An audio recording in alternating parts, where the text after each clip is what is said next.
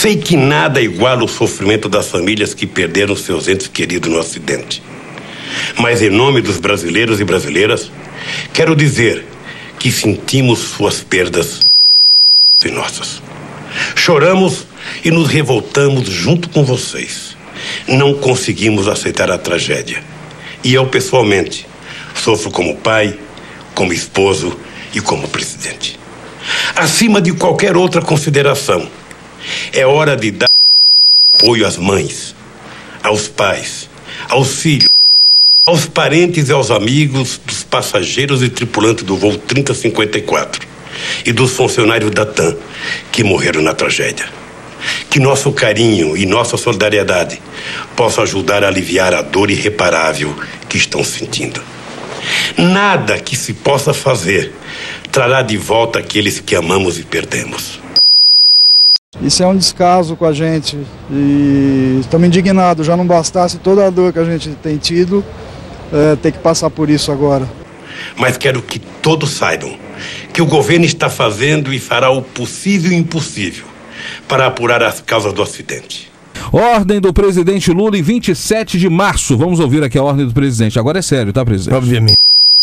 Quero prazo, dia e hora para a gente anunciar ao Brasil que não vai ter mais problema nos aeroportos brasileiros. Pois é, já em 13 de junho ele queria prazo, dia e hora em março. Tá? Esse prazo de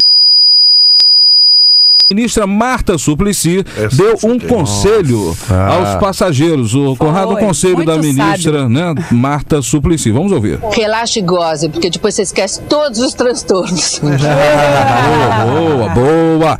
Bom, já o ministro da Fazenda, Guido Mantega, ele declarou o seguinte, no dia, agora, entre a Marta Suplicy e esses dias que nós estamos vivendo hoje. Vamos ouvir aqui a declaração do Guido. Primeiro que não há causa aérea. Há um problema aéreo e também há um aumento do fluxo de tráfego. É a prosperidade do país, né? Mais gente viajando, mais aviões, as rotas.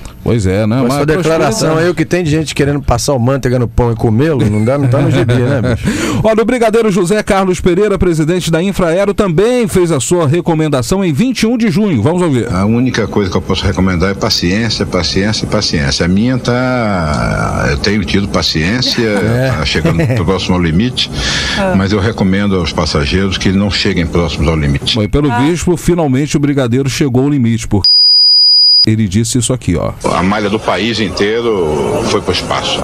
Bom, em entrevista ao Universo Masculino, o presidente da Federação dos Controladores de Voo, sargento Carlos Trifilho, ele afirmou que entra qualquer um no Sindacta, né, se referindo ao Sindacta.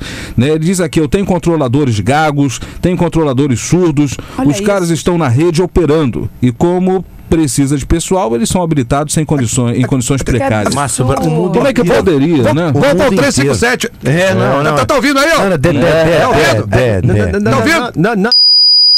Peço a Deus que dê força a todos vocês para superar o sofrimento. Que nos abençoe a todos.